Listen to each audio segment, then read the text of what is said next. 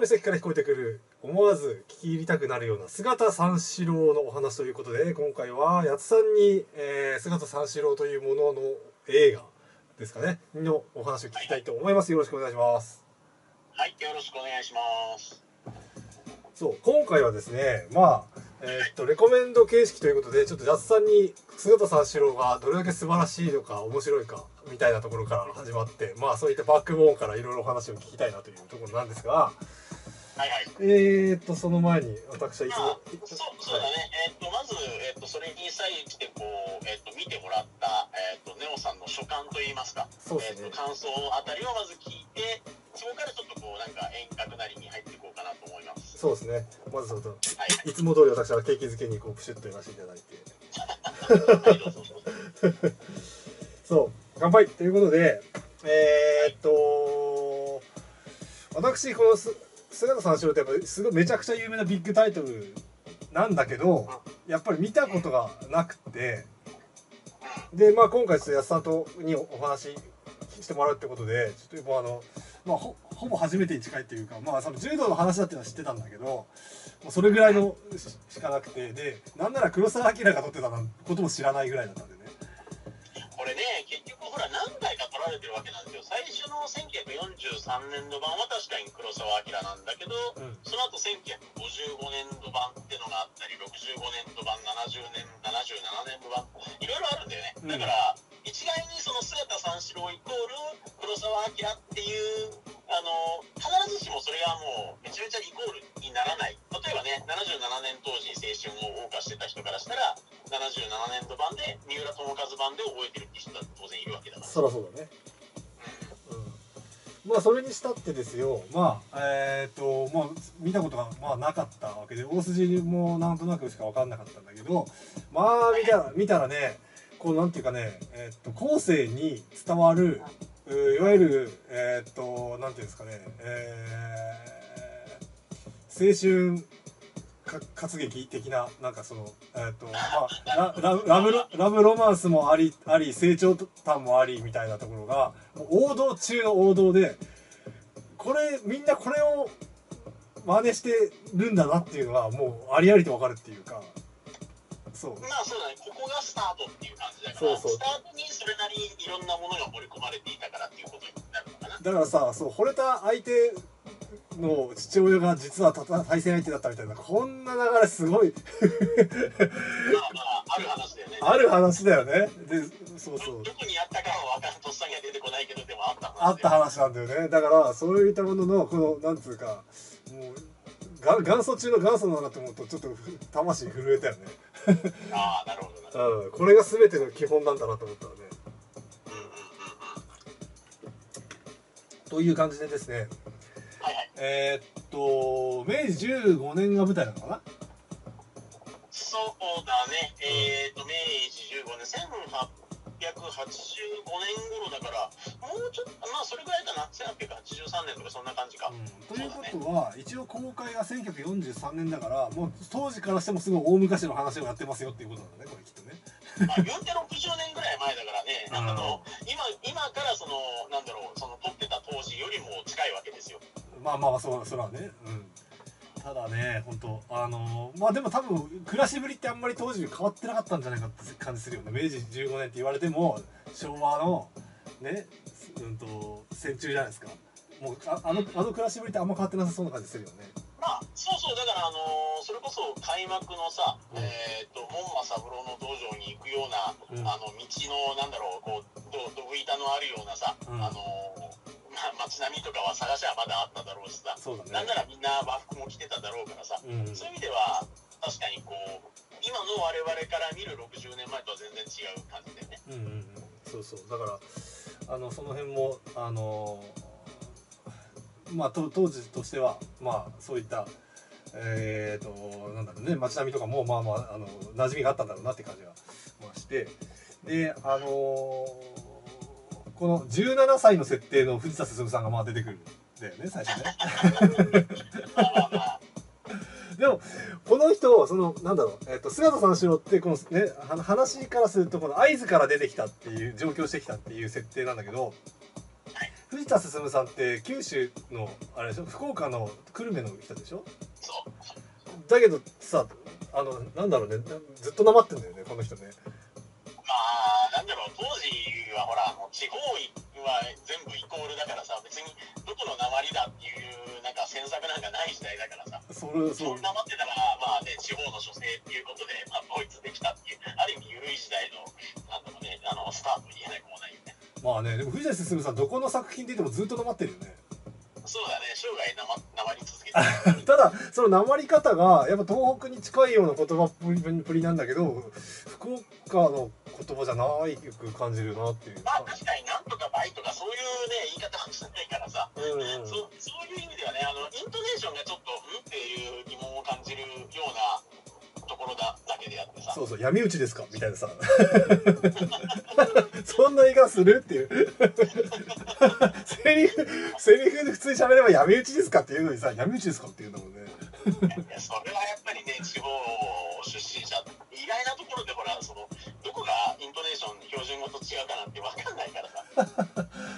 そうだそういうのがちょっとあ藤田さん面白いずーっと変わんねえなと思うのがお面白かったなっていう感じするね虫標本みたいな感じ。そうそうそう。昆虫標本だろみたいな。そうそう。そうそうそう。そう一貫してて逆にブレてないっていうのがすごいなっていう感じでした。うん。でねヒロインのはい。えっ、と轟由紀子さん？はいはい。この宝ジェンヌの？この方が俺見ててうわすごい綺麗な方だなとまあ思ったんですがあれなんだね。あの「ドラゴンクエスト2」の歌歌ってた牧野アンナさんのおばあさんなんだね。そうだよ。知らないこね。のこの時代のもう、ま、牧野家っていうのはもう本当に人が多かったからね、うん。そうなんですよ。ねだからああのねラブソング探して歌ってた人のおばあさんなんだと思ってちょっと感激した。ななんななんならこの人の息子があの沖縄アクターズスクール作ってるからね。ああそう。すげえね。芸能界のねもう多大なるこの功功績を残したね。そうだね。そうっすね。まあそれで最初そのあのえっ、とそんなんだっけ門馬三郎のところにまあまあ喧嘩喧嘩喧嘩柔術柔術みたいなさ ブライカンみたいなさおおじさんがい,、ね、いるじゃないですか。そのさ門馬三郎っていうさ。ああのおじさん栃木の人なんだねそうだね。何？小杉義雄さんって言ってあのあれです。七人の侍のあの主や主要なえっ、と茂吉っていう役をやってたし、あとはえっとねえー東邦芸能学校の先生を長らく務めてて、えっ、と古谷敏さんとかの先生にもあったり。ああだから栃木の人だから多分そのね教える側でもなまってたみたいななんかそのなんかちょっとエピソードみ読んだことあるけどね でもあれだねなんかそのあれじゃんウルトラ Q にも出てたんだよねこの人ね。多分ね1900え9本当にもう最晩年じゃないかな60年代に亡くなってるはずなんで、ね、ああそうだね68年ってなってたもんね、ああそうかそうか。うん、なんで67年かあれが？ウルトラ Q が？9は66年かな。66年か。でだからまあ本当60過ぎてぐらいの頃なんだろうけどその最晩年だね悪魔っ子？悪魔っ子の魔術師の役やああそう。で出てたみたいな。やつだけど。いやーそうそう。あのいやあの悪そうな感じがね俺すげえ好きなんだよねこの人ね、あー。うん、まあ七人の侍ではねどちらかというと良識のある農民としてこうあの存在感を放ってたけどあじゃあ坊主じゃなあああそう。あ坊主坊主は坊主なのか。ずっと坊主か、うん、とかねあのー、あれですねこの蛇のようなやつだっていう檜垣源なんだっけ源之助このさこのライバルがキザなやつっていう設設定もさすっげえいいよねこれね。もう古典 古典だよね。まあまあまあまあそうだね。まあいやそう今からすると確かにそこがどうなんだろうね。これより前にそういう設定っていうのがなんだろうあったのかな。なんかハイカラなね一人だけスーツ着込んでなんかねキザなんだけど強いみたいななんかね、うん、花形満もうこれの流れなのかな。そうだね。なんかこうどちらかというと主人公がやぼったい 田舎者に対してなんか宣言された木だなっていうライバルっていう。なんかキャラとして対比しやすいっていうところがあるんじゃない、そうだね。だからまあちょこの辺の設定も全て王道中の王道でまあもうこれをこれをもとに全部もうあとあとあとは全部作ってるってのは分かってんだけどちょっと本当ねど真ん中すぎてちょっと笑ってしまったんだよねこれね、ああなるほどね。うん、ただやっぱりその黒沢構図みたいのがあってその最初のオープニングのなんかその街並みをこうねこうクレーンかなんかでずっと上から俯瞰してね街並み行ってこういった街があってこういうねあの市政の人たちがいて暮らしがあってみたいなあのところから導入から始まっていくっていうところがいやさすが黒沢のこの説明あのなんつうのセリフじゃなくて説シーンを説明していく感じがうまいなってやっぱ思ったね。であとこの村井半助さんがですねあまた出たっていう感じですよね。村井半助さんまあまあいつも出てるよ。いつも出てる。黒沢映画というか東宝映画にはいつも出てるそうこの志村隆さんずっと出てるね。そうだよ。うん大レギュラーだからね。大レギュラーだね。笑っちゃったよまた出てると思って多分40年ぐらい外見が変わってないし。変わってないね。ずっとずっと服役なんでしょきっとあそこら辺もあとはちょっと後でちょっと触れます。あそうですね。とかねあのもうキャキャストだとこのおすみっていうのは花井蘭子さんっていう方のこのあのねなんつうかこのじとっとした目ですよね。ああうん。これが昔の本当にあのしなんかあの、ね、浮世絵とかにいる人の顔なんだなって感じがして、確かに。ねそうだね。もう今今じゃもう見られない。うんなんだろう目線であったりそう。そうそう顔つきであ今ったり。こういう人は女優では大成しない感じだけど 流行りが違うんであただ昔の本当昭和ぐらいまでの美人っていうのはこういうシュッとした感じの人だったりするんだろうからなんかそその辺がああ時代を感じるしああこれ浮世絵の人だなって髪言ったりとかしてる。完全に浮世絵の目つきをしてるなっていう感じがしてちょっと面白かったこの人の演技が。なるほど。うん。うん。あのなんかう恨ん恨んでる感じのじっとっとした目 とかねまあそういうまあ感じ流れがね本当にあのあのなんていうかこう起承転結があってほらなた例えばさそのなんかえっと三四郎がやっぱり人を殺してしまってとか 落ち込んでみたりとかでなんかそのまああそのまあその前はそのねあのなんだハスハスの池に飛び込んで悟りを開くまであれで美しいハスを見てそうかっつってね人生とはみたいなところでなんか悟ってみたりとかなんかあとねそのおなんだえっ、と決しね、試合があるっていうのになんかこうね出てこなくてなんだあいつ何してんだって言ってね最後和尚の一括があってそうかってまた開いてなんかまた走ってって会場に行ってみたいなこのこの流れとかもう完全に少年漫画のそれだもんね。まあまあそうだから全ての原点なんで。すいや本当にもうもうもう美しいよこの流れが。もう様式美っていうんですかね。そうだね。うん。もう非常にいい映画。これ本当に97分か。あーでもえっと70 78分です多分見たのは。ああそうか。あーあれか。あのーい一部なくなってたんだっけ？そうそうそうそあーっていう感じでもうあの非常に楽しめました。うなるほど。うん。というところですけど、やつさん、あれですかね。いいあ、そうそう、これさ、そうそうそう、このクライマックスのさ、あの、最後の、えっ、と、ひ檜垣さんと戦うところ。うん。あれ、箱根の戦国原なんだね。俺もうこの、去年い行ったよ。あ本当？お うで、あの、本当にすすきの原があって、で、ああいうすっごい急斜面みたいなところで、うんうん、だからもう映画で白黒だったけど、見て、うわこれ、戦国原、うわ全然変わってねえっていうのをちょっとあの感激した。ああそういう、そうなんだ、うんまあそういう自分自自身のこの思い出ともこのクロスオーバーするところがあって非常に良かったです。はいはい。でこの間 この間あそうかもうちょっと安さんのね話の流れっていうのが決まってるはずだろうからあんまりこうね先先回し言いたくないんだがあの神社ね。はいはい。ねこれあのこの間安さん行ったんでしょ？そうだよ。だって送ったじゃん LINE で。そうそうそうそうそうその話なんだけどさそのその写真をさ送ってもらったんだけどさこの時ってまだ戦中戦前か？これあれあれええ映画撮ったのは。戦前だから神社の周りのあの石段の周りとかすっげえ開けててさ向こうとかもすげえ見下ろせる感じだけど今写真送ってもらったらすげえ木がうっそうとしててさそうなんだよね。ね同じ石段なんだけど全然雰囲気違うなと思ってちょっとあのそれもそれはそれはそれで感激したっていう感じだったね。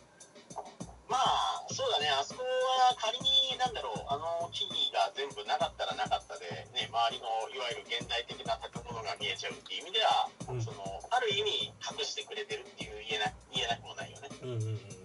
そう。だ俺なんかもうその、えーと、柔道をかじってる口なので一応行動感初段は持ってるんですけどあのー、あれですね。その三四郎の柔道の取り方っていうのがもう本当にぐるんぐるんに相手を回してあの体勢崩して投げるっていういわゆる小柄な人がやる柔道がもう本当に体現されてて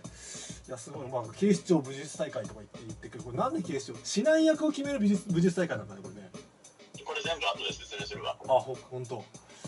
そうそうそう。なんでねそういったのももうまあちょっとあのただ見てるだけではちょっとあれがな何の大会なのかよく分かんなかったんだけど、まあ、警視庁主催の大会だってことはなんとなく分かったんだけどまあそんなようなところがまあなんとなく全体的なイメージとしてありますということでやつさんにいろいろ教えていただきたいんですがどうですか？はいはい。はいはい。いや早速3割ぐらい持ってかれましたね 持って持ってきやがった。持ってきやがった。いやいやいやいやあそこ言いたかったのにと思いながらまあ、まあ、いいですわはいはいはい。いや教えてください。まだあるからはいはいはい、はいえっ、ー、とまあじゃあ改めて解説に入りましょう。はいはい。えっ、ー、とですね菅田三四郎はまあ今今えっ、ー、と改めてですけど1943年、えー、昭和18年の3月15日にえっ、と最初公開された世界の黒沢こと黒沢明の初監督作品です。これ戦中だもんね。戦中。戦中だもんね。すごいね、うん、繊維、まあ、うん、繊維紅葉のなんかあれもあんのかね。やっぱちょっとちょっとそこらも触れるから。はいはいはいはい。まあいいんだけど、うん、はい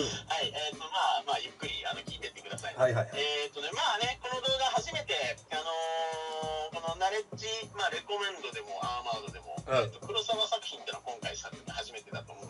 うん、えーと、そう初めて取り上げる黒沢作品っていうのはやはりまあ初監督作品がいいだろうということで今回はまあ姿三四郎をお願いした次第です。うんうんうんうん、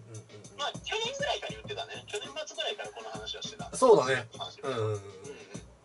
でえー、まずはね、黒澤明という人物について、まあ、姿三四郎に至るまでの歴史をちょっと簡単に説明していければと思います。はいはいはい、まあ、右に書かれてることとかもあるからね、まあ、あの軽く聞いてもらえればと思います。うん、えー、黒澤明はね、明治43年、1910年に東京都江原郡大井町、まあ、現在の大井町で生まれました。えー、そこに住むね、黒澤勇さんの子として8人兄弟の末っ子です。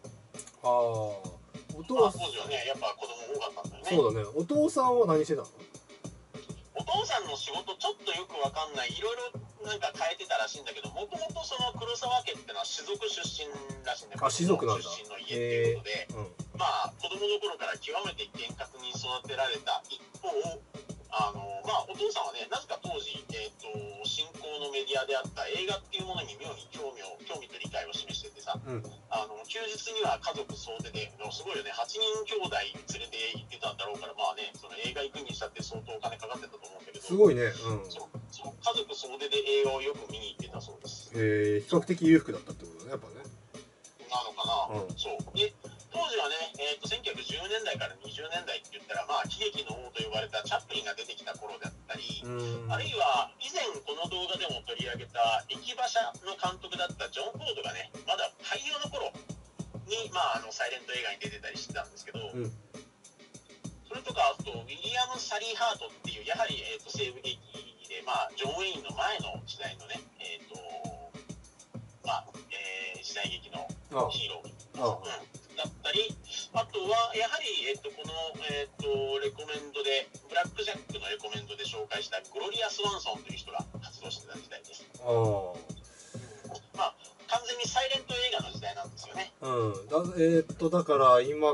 100 110年ぐらい前って。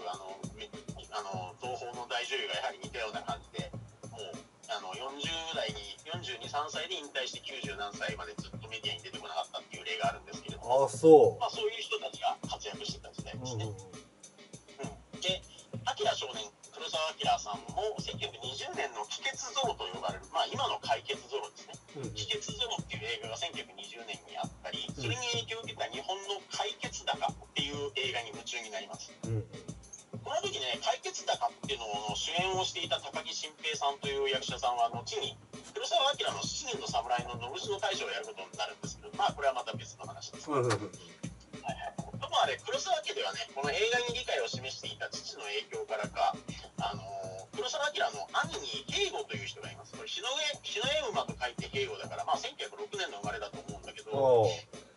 の人がね実は須田貞明という名前で活動弁士になるんですね。あのー映画のサイレント映画のナレーションと声優を合わせ持って解説するあの弁士ああベンベンするやつね。そうそうそう、うん。でそうサイレント映画時代にしかなかった職業なんですけど、まあ、うん。俗にね、えー、と終わりを示す週末とか終わりを示す一貫の終わりという言葉はこれは当時フィルムが連続でつなげられなかった時代に1フィルムの最後を締めくくる言葉として活動弁士が使ってた上徳が語源です。ああそうなんだ。あそうこれで一貫の終わりみたいなところでそうそう。そうだから2巻に続くよっていう意味で。はは巻の終わり。はあなるほど。そうまあそんな兄を慕ってたアキラなんですけどアキラ少年なんですけど、まあ、兄兄がね27歳の時に女性と心中して死んじゃうんですよね。おおまあ、ちょうどね、時代がサイレント映画から陶器映画にとって変わられる時代で、活動弁士の仕事がなくなってった過程だったっていうのも関係あるかもしれないんですけいやど、ほんと昔の人が悲観したらあっという間に死ぬよね。うん、この時代の人っていう、なんかそういうのあるよね。なんねかある。ある小説家とか。そうだよね。もうもう死ぬしかねえってすぐその選択肢に至るよね。死年齢が非常に低いんだろうな、多分な。そうね。ほんと絶対死にたくねえけどな。まあ、そう。で、直後にね、あの、一番上のお兄さんも亡くなったってことで、あの、黒澤明がいきなりこう、あの、なんか黒澤家の大黒柱みたいな形にならざるを得なくなっちゃうんですよ。ああ末っ子長末あ末っ子なのにそうそうそう。まあ、画家を目指してたってことで、まあ、これが後にあの、コンテとかキックに影響を受けるように、ええあの、生きるようになるんだけど、うまあ、とにかく PCL っていうあの戦前の映画会社、後にあの東宝に合併する会映画会社なんですけれど、うんここに就職した際に、恩師となる山本梶郎監督という、まあ、山梶監督って桜井宏子さんなんか呼んだりしてるんですけど、この人のあの監督、この映画監督のもとで修行を始める形になる。うんこの時ね、後のゴジラなどの東宝作品を撮る本田一郎とか谷口千吉も山梶監督のもとにいたいたりします。ああじゃあや山火事一派というかや山火事山火事塾みたいな。そうそうそう。だから本田一郎、谷口千吉、黒澤明みたいな、すげえね。すごいね。全員 全員天才みたいな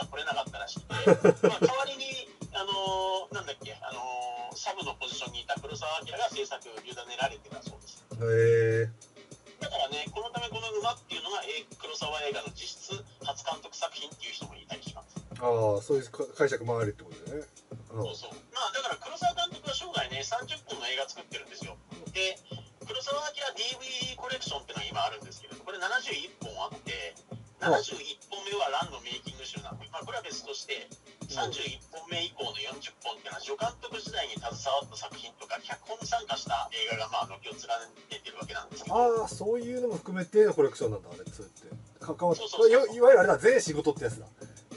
まあそういう言い方だね。うん。もうでで、ここにおいてね、馬はね、ボリューム31なんですよ。うん。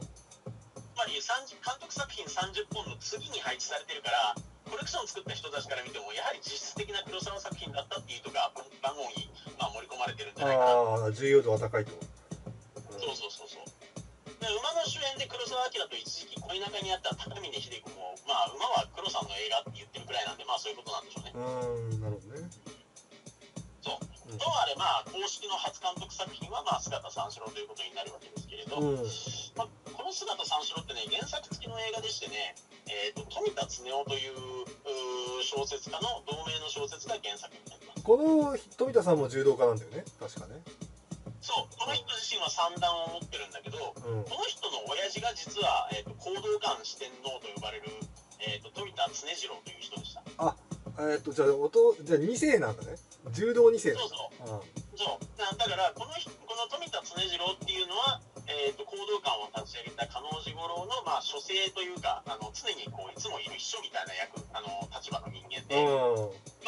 四天残念ながら実力的には四天王の中でも最弱ポジションだったらしいんだけど、まあ、まあまあでも他の3人が強すぎるだけで別にこの人が弱かったわけではない。あのさ四天王の最弱っていうのは一番重要なポジションだから。一番最初にやらんでも実質副将だから。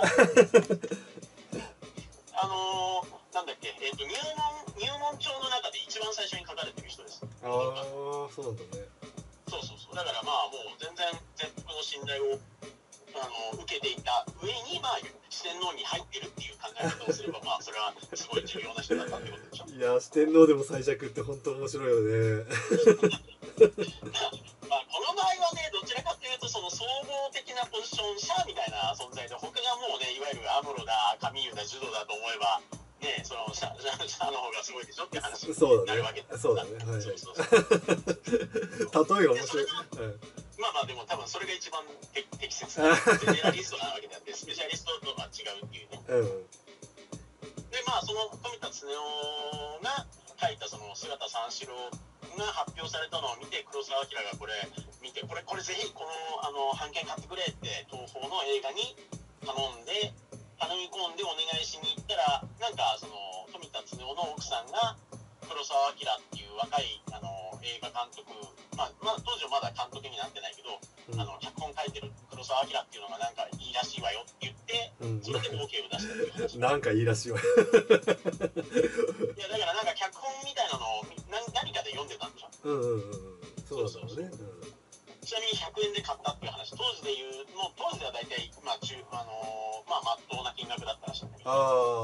まあ今でいくらだかちょっとわかんない。うん当時ちなみに黒澤明は給料45円って言ってたからまあまあそういう感じだよねああじゃあボボ2.2何倍っていう感じだったボボボーナス出たがぐらいなって感じですか？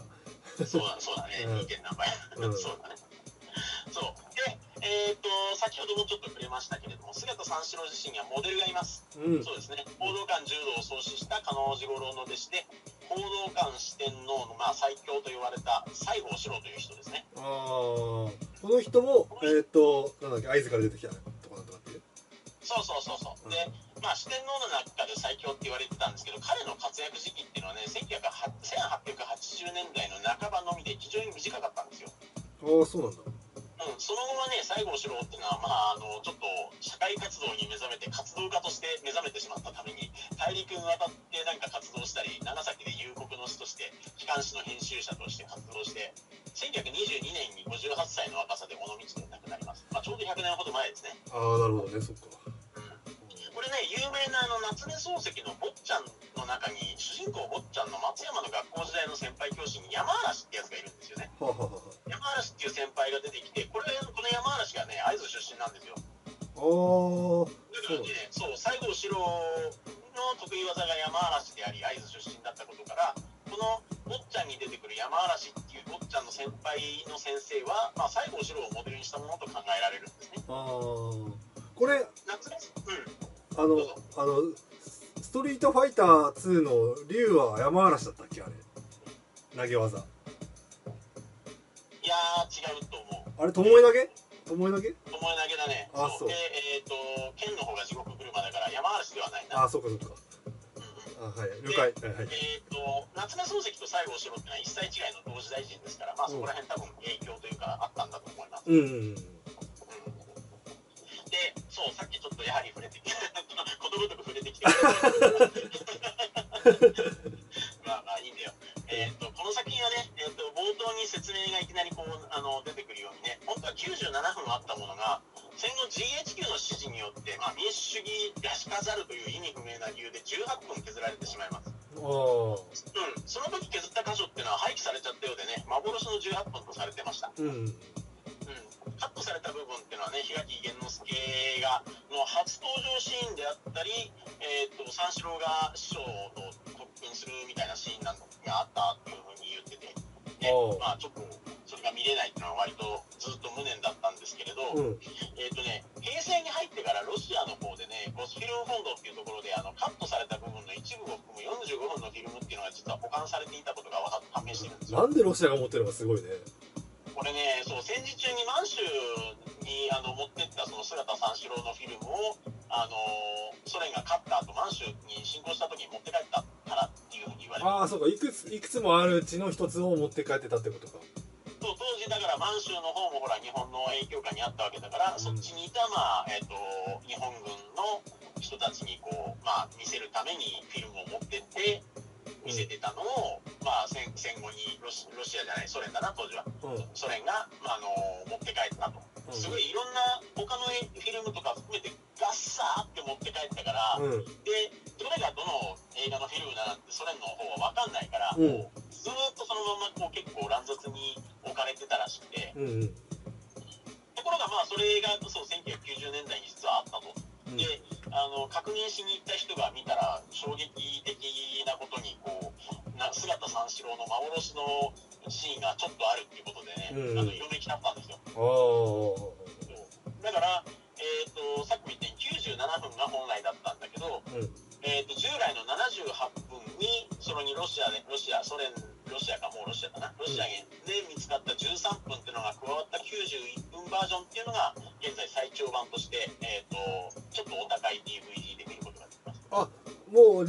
てんだ公式で。7000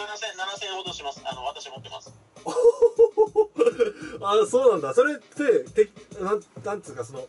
えっ、ー、とカットされたシーンをうまくちゃんとつなげて一本になってるってこと？そのそのカットカットされたシーンだけカットだけ別で、ちゃんちゃんとあのちゃんと普通の映画の手であの、ま、混ぜてある。あそうなんだ。じゃあここはカットシーンですっていう触れ込みでこう別別チャ別でやってるんじゃなくてもうちゃん、うん、完全版って感じで出してってこと？そうそうそう、うん、ただねやっぱりあのあの保存状態があんま良くなかったからか、まあ、あの通常版からそのロシアに残ってた版のカットに変わる瞬間突然映像が荒くなるとかそういうことはあるんだけどまあ、それでもそれでも全然普通に見れるレベルだからまあねあのー、正直78分だとえ今のなんでこうなったみたいな分かんない部分とか結構あるんだけどやはりその、えーと、檜垣玄之介とね姿三四郎のその因縁めいたシーンとかもあの加わることによってあこういう人まつあのね一悶着があったからこう後半こういうふうになっていくのかっていうのがちょっとつながった感じでねやはりねあの抜けちゃいけない部分が抜けちゃってたっていうところだよね。これさあのほら途中でさも文字の説明が入るシーンがあるじゃんか。途中最初じゃない？最初じゃなくても途中でもなんか三四郎はまだ若いなんとかかんとかの特訓の末みたいなのって言ってた。そう。多分ね、そこはちょっとごめん、今の今見てなかったからわかんないけど、ちょっと俺もどあの2つのあの映画を両方あの重ねて見てるからさ、そうそう。でちょっと今、どっちだったっけってのがわかんないんだけど、だから、でも、ややえっ、ー、と、うん、そ要はその、そうや足りない部分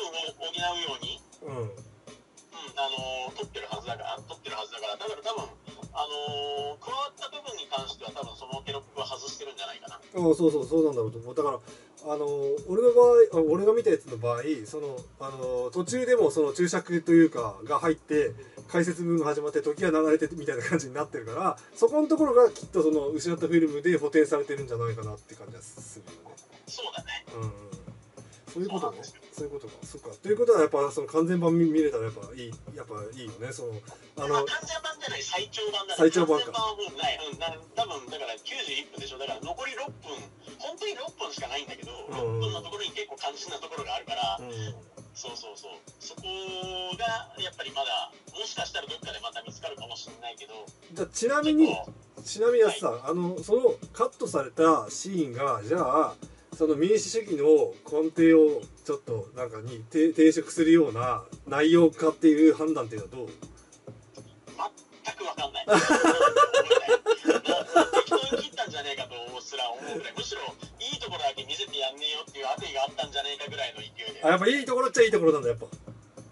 ってここじゃなきゃここ切んなきゃもうちょっとここ分かるじゃんっていう部分があるからさ。あじゃあその切った人はそこの文脈をいろいろ理解した上で悪意を持ってっていうことは結構ちゃんとちゃんちゃんと見てちゃんと読み解いてるっていうことだねきっとね。分かんないんだよこれが。だからその1943年に撮られたあの放映されたタイミングとその直後その直後にいきなりなんかちょっと切ったらしいっていう話もあるから そのだから切ったのが結局その GHQ なのか日本軍日本軍というか軍部だったのかもうちょっと今となってはよく分かんない部分がある。からそれぞれのの思惑的にここはあかんやろっていうところは多分違ったと思うからさ。だから、うん、そういう意味では本当に継ぎはぎで切っちゃったようにしか見えない。それぞれ意図はあったんだろうけど、うん、あの2つ以上の組織が切ってるからさちょっと分かんないっていうところもあるね、うん、へえ。いややっぱその辺の検証がねちょっと面白いね。なんかこうどあのやっぱりさみんなさこの2つ並べて見返すってことだってそうそうそんなそこまで好きじゃないとそうそうやらないはずだしじゃあやったとてじゃあここなんでカットされたシーンがなんでここカットされたとかっていうのも意図は全く読み取れないって言ってもちょっと笑っちゃうよねこれね。これがねだからそうその後の映画とかと見比べても本当にこここうなってたのかとかが分かんないからさ、多分当時のな台本とかがない限りはちょっともう本当再現のしようがない想像のしようがないっていうところなんでね、だから見れる人は多分その台本がもしこの世に存在していてそれを見れる人がいるんだったらちょっとその人はこうこうだったよっていうのをねなんかこう世に公開してほしいところだけどね。その6分完全になくなってしまった6分っていうのがどこだったかそしてどういうシーンだったかそして物語にどのように影響してあったのかっていうその6分が本当になんだか不明ですごい、ね、闇の中ですね一つはね一つはあの師匠からあの三四郎が稽古を受けるシーンっていうのだと思う。それはあの最長版にも入ってないから。だから、まあ、まあ要するに今で言うなんやかんやあってっていう。ところでそうそうそうそう。そうなんやかんやなわけですね。そうなんだよ、うん、だからまあそれはちょっとっていうところがあって、うんうん、でまあ、え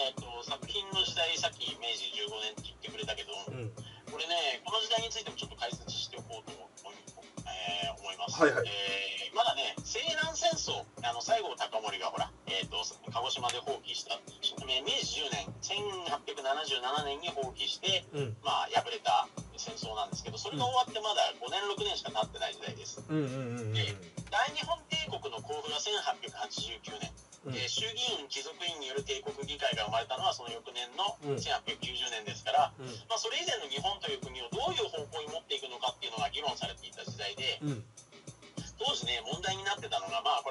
歴史の教科書でも習ったと思うんだけど非生産層であった旧士族たちなんだよね。あ要は武士かかつて武士だった人たちなんだけど、これって明治幕府か明治政府か。明治政府からするとすごい困った連中でさ、まあ、何かというと刀で解決しようとしたりするし プライド高いし何も作れないしからさ、うん、もう本当困った存在ってことで、だから明治10年にそういう人たちがまあ西南戦争で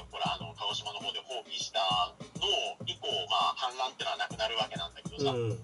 そう。その前後で旧士族たちがそれまで持っていた武士としての特権っていうのはことごとくなくなっちゃって、うん。生きるための術を持たないあぶれ者として、まあ、世間に放り出されるわけじゃないですか、うん。まあ、その中には商人に転出したりする人とかも出てくるわけなんですけれども、まあ殿様商売っていうのがここから出てきたようにね、まあ、生まれながらに身分を持って育ってきた人たちだから仕入れとか接客とか満足にできるわけないんだよ。そうだろうね、いいようにねこう仕入れ仕入れ値がめっちゃ高値だろうが分かんないからさ。うん、目利きがないからね、うまくいかないっていうね、うんうん。そういうそういうのでだから結局他の仕事に転転じることもできない。多分農民なんか嫌だってななってたと思うからさ、うん。うんまあそんな中ね西南戦争での抜刀隊の活躍っていうのがあってやはり武術は必要っていう機運が芽生えてきます。そうね。うん。これ西南戦争の2年後に明治12年に警視庁の激剣世話掛けという役職が設置されるんですね、うん。まあ、いわゆる剣術師なんてやつですうん、これあのこの後今度は柔術世話掛けっていうのが6年後の1884年に創設されて、うん、まあ、資料によって83年ってするものもあるんですけれど、さっきネオさん言ってたようになんで警視庁でって言ってたのは実はここに関わってきてて、これっていうのは結局全国の警察に剣術であったり柔術であったりを指導する役職をあの旧武士の人たちでその、えーと、武術に腕の覚えのある人たちをその役職に当てようっていう機運だったんですよ。うんうんうんだから武術しか知らない旧士族たちはいろいろ浸つわけです、ね、食える道が食える道が見えてきたわけだから、うん、そこで旧士族たちは自分が元いた藩の武術道場とか残ってたところに行って警察での柔術指南役とか剣術指南役になることを夢見るんだけど、うん、まあところがそんな柔術世話掛けをどこにお願いするかといった際にね、あのー、それこそ村井半助のいた領意神道流っていうまあ、檜垣玄之介もそうなんだけど、うん、それと行動感柔道、両位神道流ってのは本当にあるあの柔術です。あ、そうなの？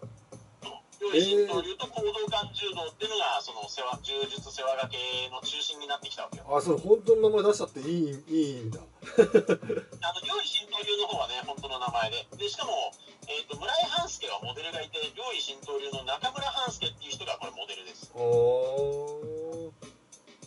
それで武術大会に出てきたのが行動感柔道の西郷志郎、うん、で地方で武術で身を立てようとした柔術出身の旧士族たちはこれに太刀打ちできずに柔道あの行動感柔道に柔術世話掛けをも持ち去られちゃうんですよね。じゃあ当然柔術側を行動感柔道を恨むわけですよ、うんうんうんそれと三四郎の冒頭でそれこそ行動感柔道をイメージした修道館の矢野正五郎が門馬三郎の一門に襲われるのもそういった妬みそねみが背景にあるからそうだ。まあそうかそうだね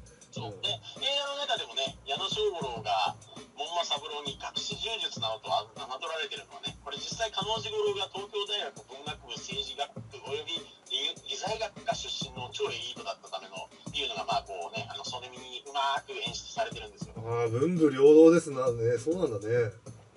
東大出てんだ彼女頃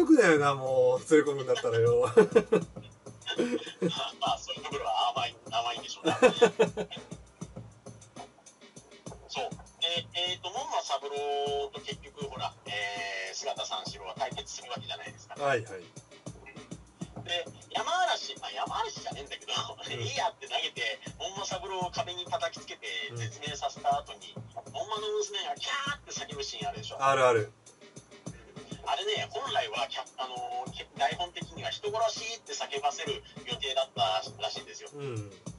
これでもね叫ばせるにはこの人殺しっていうのは五感が非常に悪かったらしくてなんか大声で叫べない要はあの口を結構動かすじゃんあそうだね、うん、そうそうね。何回やってもうまくいかなかったから結局キャーになった。そういう逸話があるリテイク重ねて重ねて。そうか、ね、結局キャーでいいいいかってなっちゃったんじゃない？そうそうそうそう、うん、あとはどうだろう、えっ、ー、と村井半助の娘のさよ役の轟由紀子さんと、うん、まあ轟由紀子演じるさよと三四郎の淡いメロシーンの会談ですかね、うん、まあさっき言ったようにネオさんに LINE で送った横浜の浅間神社の会談です。よ、うんお父さんの分を祈ります。ごっこをちょっとね妻とやってきましたよ。幸せだな君たちは。いやいやそういうのをなんかねやってクスッと笑えるように対にじゃあ一回階段降りてまた向き直るわけ向き直るわけですか。面白いね。緩和球大ですけどさあ、えっ、と他にはね、えーと檜垣源之助役の月形龍之介さんは1902年生まれです。うん。でその檜垣源之助に老いぼれ呼ばわりされていた村井半助役の志村隆は1905年生まれです。ああえー。これの方が学年で4つ下です。えー、全然見えね あのこの姿三四郎を取っていた時点で志村隆は37歳です。え全然見えね今今で言うとウェンツエイジぐらいだね。えいやーあれさずずらずらなのか？なんか。ずらずらああさすがに。あのははね剥げ上がったようなね、うん。そうそうそうそう。うん。そう。まあ、確かにそう確かによーく見ると肌ツヤはあるなっていう。おじいちゃんっぽいのに肌ツヤもあるなっていうの感じは分かった。そう。その前の年にね、あの片岡千恵蔵主演の、えっと風雲児信長だったっけかな？っうん。ていう、えっと映画でも、えっと片岡千恵蔵が若い頃の信長を演じて、志村隆が、あのーなんだっけ、えっと森役の平手正秀っていうもうおじいちゃんを演じてるんだけど、うん。これも片岡千恵蔵の方が2歳上っていうね。何そなそこまでして志村隆をどうしてそうやって不契約しなきゃいけないのかっていうもっといっぱいいるだろうって。逆じゃないかな、あの志村隆の方が食っていくためには不契約しかないって思ってそっちで売り込んでったんじゃないの？えー、そういうもんなんだね。そっか。わかんないけどね、まあ、でも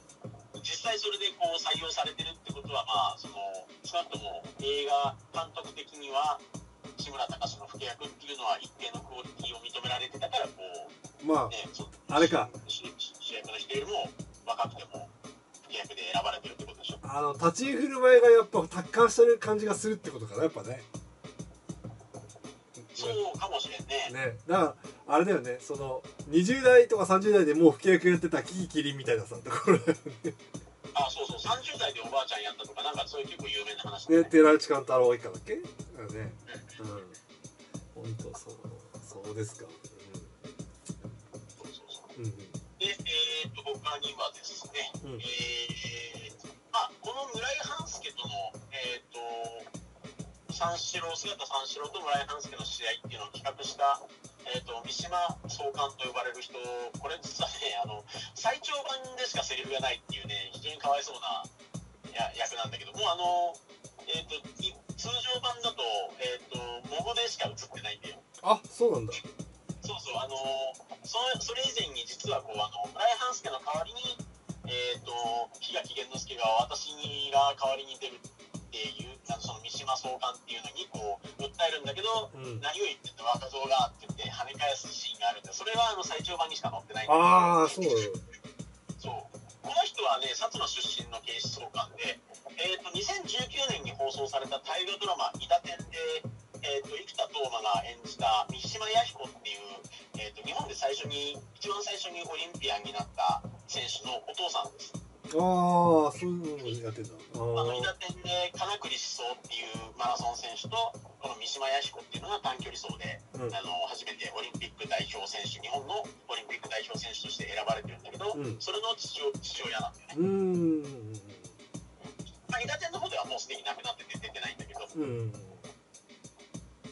そうですかああいやもうそういったのよよく調べてくるね本当に。いやいや、でまあ、いろいろ、い。ろいろあるじゃない、だからまあまあ、そうやっぱ気になったところを調べると、その分なんか面白いものがいろいろ出てくるからね。ああ本当ねまあ、だ最後の、最後の右京ヶ原での檜垣源之助を増しながら、姿三四郎が民謡を歌ってるシーンってあれじゃん。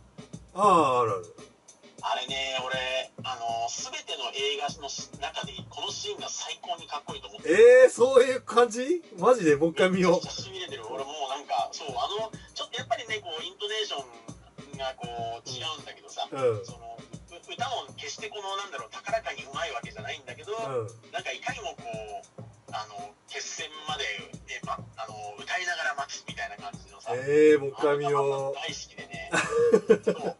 でまあ察しの通りだと思うんですけどこの一面すすきの場所っていうのは某有名アニメでも使われてます。アニメ？うん。まあ新世紀エヴァンゲリオンって言うんですけどねエヴァのエヴァで戦国実はテレビ版第4話でシンジが逃げ出す際にこの月原がモデルとして使われてます。ああそうなんだ。そう。このね右京ヶ原ってのはさっき言ったように箱根の戦国原でうん撮られてるから、うんうん。そうそう。戦国原自体がだって第三新東あ第三新東京まあそうだね。実際そうだもんね箱根だもんね。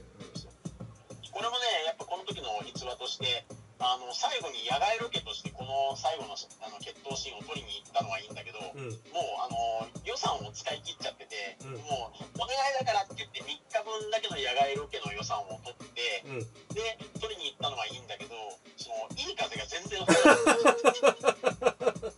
で2日ずっと待ってうん。もうもうダメかなっていう最後の日にめちゃくちゃ風強い風が出たから慌ててこうあの屋内にいた人たち全員出てって慌てて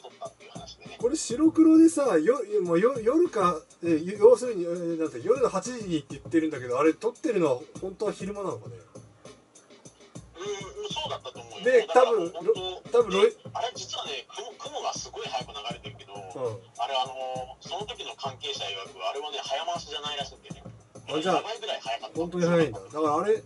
あれ多分あのフィルムの露出をアンダーにして黒黒黒暗くしてるって多分ことなんだろうきっとね。まあそうだから昔の、えー、とゆ夜の戦いとかっていうのはやはりそういうふうに撮ったはずだけどさ。いやね一番最初のさ川べりで戦ってるのもさあれ実際昼間で撮ってるんだけど多分露出アンダーにしてるから夜っぽくしてるってことだもんね。そうそうそうそう。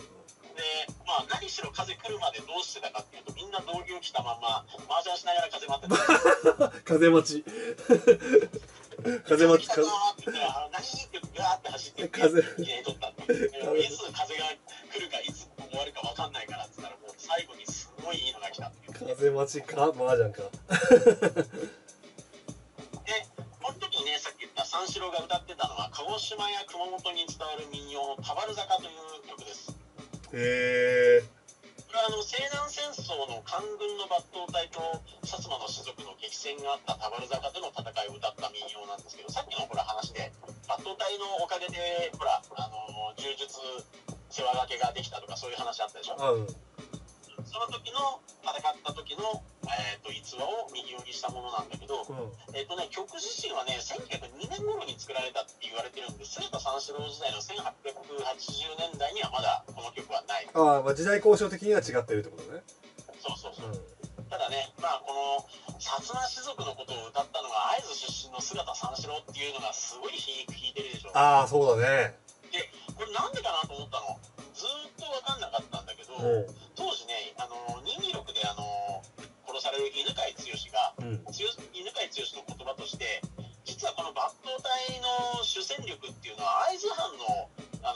旧藩士、旧士族たちが、この抜刀隊の中心だったんだよっていうような話があって、それを信じてたからなんですよね。あそういうこと？そうなのうんこれって長い間ずっと信じられてたらしいんですね。近年、近年っていつ頃だったかわかんないけど、うんまあ実は、いや、そんなことない、実はあの薩摩の人たちだったんだよっていうのが分か分かってしまったから、うん結局、田原坂での官軍と族,、まあ、族軍というかね、士族側の戦いっていうのは、薩摩薩摩同士の戦いっていうことが、まあ、真実らしいんだけど、うん。この時代、この映画が撮ら少なくともこの映画が撮られていた時代は、その抜刀隊っていうのは実は会津出身の士族が、その戊辰戦争の敵っていう形でこうあの参加して田原坂で戦ってたから、会津出身の姿三四郎に田原坂を歌わせたのであろうと考えられます。ええそこまで交渉されてんだそこまで私は交渉したんです。あそっかそういうことかされてんじゃなくてやつさんがしたのかいいんだけど。そうで最後の戦いの折ね、あの檜垣源之助とともにあの飯沼飯沼常民っていう老武術家が一緒にやってくるじゃない、あの立ち会いに。ああ先生ね、うんこのシーンって実は映画だけしか見てないとなんで三四郎のいる修道館にいたり最後檜垣源之助と共に行動していたりするのかよくわからないと思うんですよそうだなんで出入りしてんのかようわからないもんね。そうなんかコウモリみたいな存在に見えるでしょこうもそうか。うんでもねこれは実はこの人も祈祷流の飯久保常俊っていう人がモデルでうん。飯久保常俊ってのは実は加納治五郎の祈祷流時代の師匠なんですよ。はだから映画三四郎の大師匠にあたります。師あああれでしょ？なんだっけ？あの他流試合じゃ試合試合すんなっつって檜垣源之助が最初に道場来た時に止めたよね。そうそうそうそう、そうそうその人。うん。うんあのめちゃくちゃひげひげのある人。あそうそうそうそうそう。そうで檜垣源之助の両位神道流的にも祈祷流ってのはルーツが一緒だから、うん。檜垣源之助も飯沼常民に対してこう系譜的に業界のおじき的なポジションに当たるから、うん。まあ、最低限のリスペクトを持って接していたっていうことまあそんな雰囲気はやっぱあるよね。おじきおじきおじおじき感あるよね。そうそう。うん。だからここら辺のことね本当日本の武術のなんていうのかなこうルーツというかさうん。系譜みたいなの分かってないとマジで分かんないから、まあ、実にいやらしいなんか演出と言えなくもないというあの分かる人だけ分かるみたいなね、うん。演出やめえっていう話だけどさ。あのな和尚の存在も謎なんだけどね。ああ和尚？和尚な。な謎というのはなんなんで謎？いやお和尚なななあれな寺寺についてんてえ寺と同じえ道場と寺がつがついてんのか？まあそういうことだね。そうそうそうそういうことでしょ。うん。でずっとで寺寺の和尚がえーっとこのなんかそのねえーアドバイスをちょいちょいしてきたりまあするんだけどそのあーとまあ仏教と、えー武道とのこの関わりとなんかちょっとその辺の相関図がようわからなくてね。いやまあそこはそんなに深くなって結局まあ精神的支柱というかさそのね、うん。あのお寺にある道場であのそこのおっさまにもね精神的に喝を入れてもらってるっていう意味でまあそういうポジションなんじゃないかな、うん。だからまあ見守り役でちょっと一番こう一番優しい人なのかなっていう感じはするんだけどさ。こ のお正お正役はね高堂国天さんといって、えっと、7人の侍の村長役の人です。ああそうよく知ってんね。もうすぐ出てくるね。そうゴジゴジラでもあのあの島の村村長やってたけどね。あ最初のそうそう。うん。で、えっ、と、そうだね。で、うん。ポスターにはね、これ、生徒三四郎のポスターには、絶技、山嵐が決まった。死闘の形相は次第に殺気を含み、肉をはみ、骨を鳴らす。右京ヶ原の決闘と、まあ、結局書かれてますけど、はい最後のね、最後の右京ヶ原の檜垣源之助の決闘って割と短いんですよね。そうだねね2数分ぐらいなんですよ。そうだねなんかもうあの待ってて来てささ早速始まってあっという間に投げられてズズズズリズリズリってやって終わったみたいな感じそうそうそうもう最初のね、門馬三郎との試合はもうたったの1分なんだけど、その、あの村井半助との決闘ってのはこれ4分20秒なんですよ。あああれねな投げられても投げられてもみたいなところあったあったもんねねそうそう。うん今の作り方だったらね、最後の戦いに一番尺を取りそうなもんなんだけど、まあ、わ割とあっさりだったね意外とサクッとななな投げて終わったな、みたいな感じしかもなんかこう、途中でなんか、その、えーと、檜垣源之助との戦いの間間間にほら、首をあの送り締めで締められて、なんか、ハスの花がパッて開いた瞬間な、投げてるからさ、うん。動いてる時間そんな長いないんだよね。だから風吹いてる時間わかんねえからもうはったと取っちゃうってことなんじゃないですか。いや、別に戦闘始まったらもうだってなびいて、すすきなびいてなかったから、ああそう。あの風はもう最初のとりあえずこう待ってるシーンだけに必要だったと思うんだけどうね、これね藤田進自身はこの時期ハワイマレー沖海戦とか加藤はやぶさ戦闘隊、まあ、これはあの山火事作品なんだけど、うん。などの国策映画に主演してる超売れっ子でね。うん。藤田進自身は柔道やっててしかも結構強かったって自分で話してるんだけど、まあ、人によってはね大したことなかったとも言われててさ。まあそれはそうだよね。それはそうさ言われるよ。ね1942年の柔道っていう雑誌をちょっと調べて読んだんだけど、うん。まあ、映画化において機構が掲載されていてさ中で柔道の練習を東宝撮影所から遠くない三軒茶屋の 佐藤金之助七段の道場で行ったって書かれてあるから、まあ、一応本格的に英語映画のための稽古っていうのは行われてたっていうのがそれでわかるんだよね。うん。まあでも藤田進さんは見てるとまあ柔道やってる体型にもやっぱ見えるよねちゃんとね。まあ、まあでも忙しすぎてそんなやってる場合でもない。まあやでとりあえずまあまあまあそうだね、まあ、映画俳優、まあ、もともと映画俳優志望で来た人間ではないけど、映画俳優ってのはとりあえず、ある程度やっぱり様になってればいいっていう、ね、そそれ以上のものを求められてなかった時代でもあるからさ、うん。うんそんなの今の戦なんだろう戦隊ものとかでもさ、空手やってるって言いながら役者やけってみたら全然大したことないっていうのまあそりゃそうだだよね。うん。そうそう。だそう考えたら、まあ、形に最低限なってればっていう部分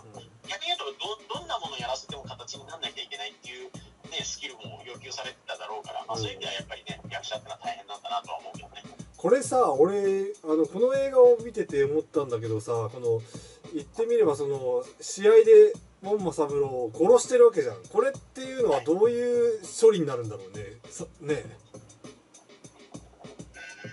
これ当時。当時。当時の法律としてどうなんだろうね。この試合においてそうやっていうのは過失致死なのか。にななって例えば普通。あ罪っていうのは多分あの多分ねまず戦ってる前に鉄板上というかさ試合で何が入っても文句言いませんっていうのは多分書面でやり取りしてると思う。こういうものに関しては。むしろその決闘罪っていうのがいまだになんか時々適用されたりしてるようにさ、うん、あのそういう正式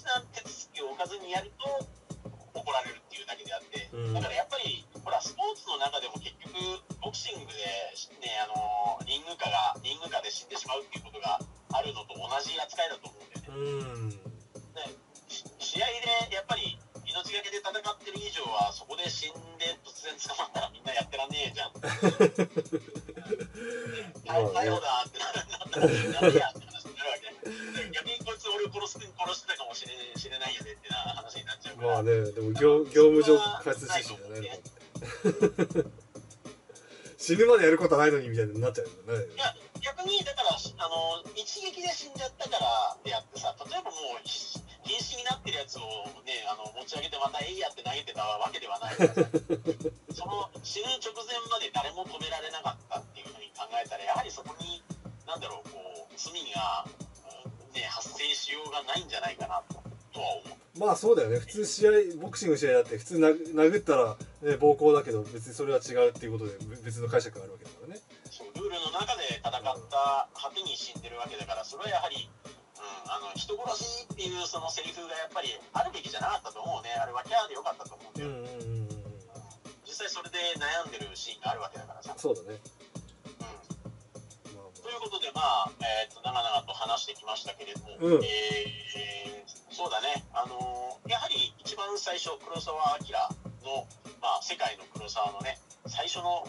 映画監督作品ということで取り上げたけど、うん、まあまあ、あね、いろんなさっきも言ったように少年漫画の原点たる部分の、ね、散々含んだ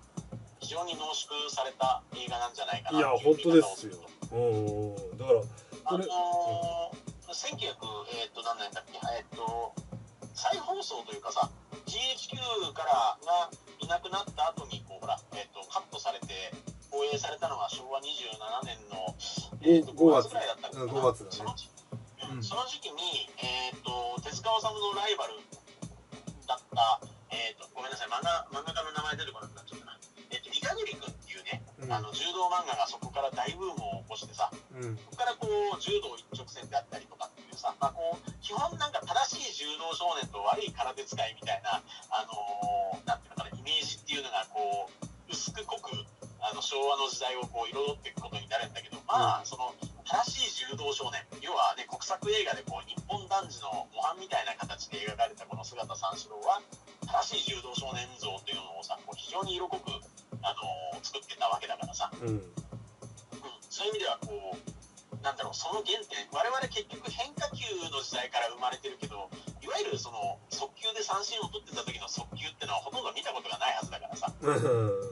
そういう意味ではそういうその古き良き時代のピッチャーの投げるストレートを見たようなそういう感じをこの姿三四郎から取ることができるんじゃないですかね。これあのそうあのなんかで読んだんだけど姿三四郎を見た後みんななんかすごいなんかあの姿三四郎に自分がなった気持ちになってすごい意気揚々とみんな帰っていくみたいなさ肩で風切って帰っていくみたいなさ。なんか昔の役者映画と一緒だよねそうそうそう。そう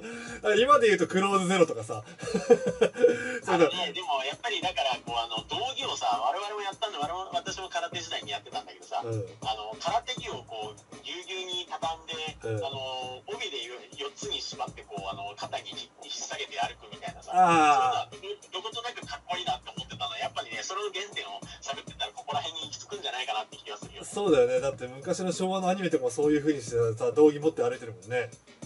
そうそう、うん、だからそうやってねちゃんとそのやり方とかも教えてもらったしさこうやってやるんだよみたいなこういったねこ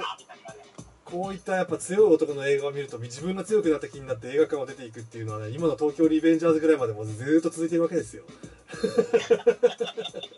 いやまあなくならないんじゃないかな、あのいろんな形を変えてこうニーズとしてさ、こうどこかそのなんだろう超人願望でね,、うん、そうだね。自分が強くなったような気気になって映画館映画館じゃなくてもいいけどそうあの自分が強くなった気になれる作品っていうのはこれからもなくならないし、まあ、形は変えるだろうけどさ、うん、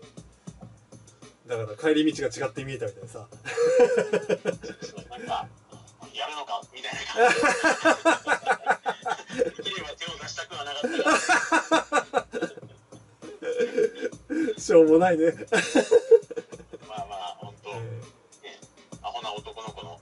そうだから。心をくすぐるような、まあ、本当。そういうエッセンスにを含んだ、だから繊維紅葉も多分ここでもうやっぱある程度き、ね、消えしてたんだろうなっていう感じはしますよね。あるよ。やっぱり国国策として国策映画じゃなきゃこうやっぱできなかった時代のものなんだからさ少なからずこう、まあ、繊維っていうのがどの繊維かは別としてさ、うん、その出てきた人間たちがよし俺たちもやるぞっていう気になれるような映画をやはり当時の軍部なり求めてたわけだからさそうだ、ね、エネルギッシュになれるような脚本じゃなきゃダメっていうそういう部分はね間違いなくあったと思うんでね。そうだね。だそれにもうねあの令和のおじさんである私もまんまとやられてね。これあのちなみにあの族菅田三四郎もありますんで。あ族もねあるって言ったねこれね。そうそう,、そうそうそう。そういうことで、まあ、いずれやつさんとお話できたらと思います。ということでこんな感じですかね、はい、今日は。